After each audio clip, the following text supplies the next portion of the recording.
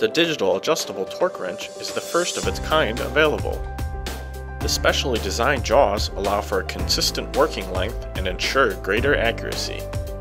Our digital ratchet wrench also possesses a few unique features in comparison to ordinary ratchets. On ordinary ratchets, the claw is only supported by one tooth.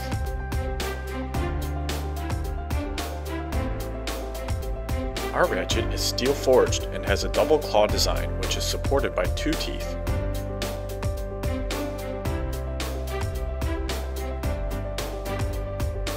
Our torque tools also feature a unique push pin design.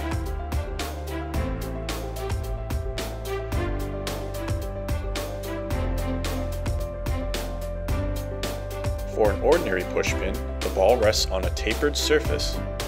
If the button is partially pressed, the ball can be pushed in, allowing the socket to detach unexpectedly. In our push pin, the ball rests on a level surface. If the button is partially pressed, the ball remains stationary, resulting in no unexpected detachments. Our torque tools feature five storable target torque values. There are four units available. Changing units will automatically convert stored target torque values. Target values are easy to adjust. Hold plus or minus to change the value rapidly. Press once to change in small increments. Now we are ready for testing.